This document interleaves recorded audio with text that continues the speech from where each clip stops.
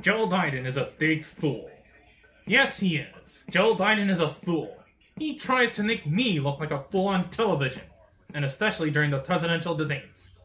But the truth is, he's the real fool. If he thinks he's fooling anybody, he's only kidding himself. Actually, he's a fool to himself. He's fooling himself. Joe Biden is not going to become the president of the United States. I'm the one who's going to win the 2020 presidential election because I keep my promises. Sleepy Joe, he doesn't do anything. He's all talk and no politics. I mean, no, no, no, no.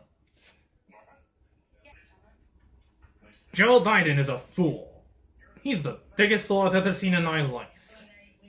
He tries to make me look like a fool on television and on national television. I said that already.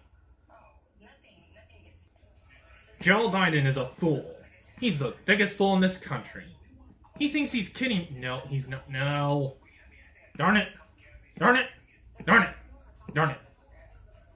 Stop laughing at me.